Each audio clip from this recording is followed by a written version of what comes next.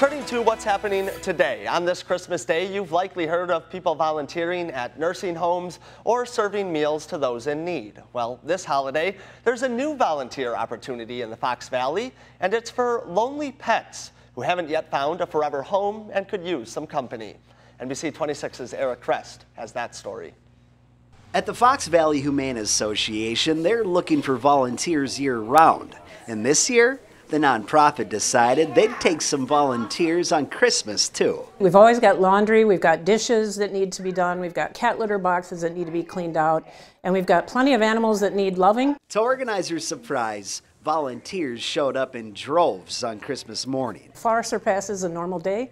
Helping to brighten the holiday not just for themselves, but for the four legged pets that haven't found a forever home yet. These puppies are alone sometimes, and um, they're and they don't have families and they don't have anybody to walk them.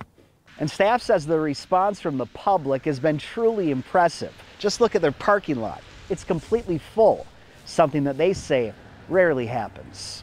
People are looking for a way to um, give back for the holidays, and this is something that resonates with families kids, adults. From preparing dog treats to be consumed later to reading kittens a holiday book, Ooh, these you, volunteers you, are proving are that taking any, some time to think of others is really what the holiday is all about. They just need some love too and just hanging out with people as well today as everybody else is with their family. In Appleton, Eric Crest, NBC 26. The Fox Valley Humane Association is always looking for volunteers, and while they got several hundred people to help out today, that is usually not the case. Staff says to find out about opportunities at their shelter, you should reach out to them directly.